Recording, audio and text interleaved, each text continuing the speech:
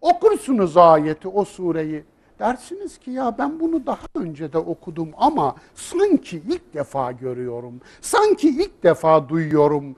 Bu ayet, bu sure, bu pasaj sanki benim yüreğime, zihnime, hayatıma, aklıma şimdi indi. Şimdi indi. İşte o zaman sizin Kadir gecenizdir.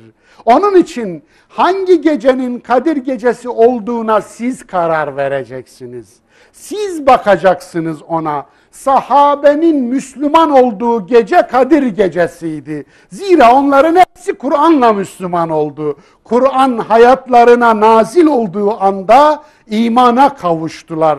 Onların Kadir gecesi oydu. Onun için sizin Kadir geceleriniz hangisi? Kadir anlarınız hangisi? Hangisi diye soruyorsanız eğer size Kur'an'ın bir ayeti, bir suresi, bir pasajı bir anda inmişse hayatınıza, aklınıza, iradenize unutmayın. O anı Allah unutmaz, melekler unutmaz, siz de unutmayın. O an sizin kadir anınızdır. Niye? O anda size ölçü inmiştir.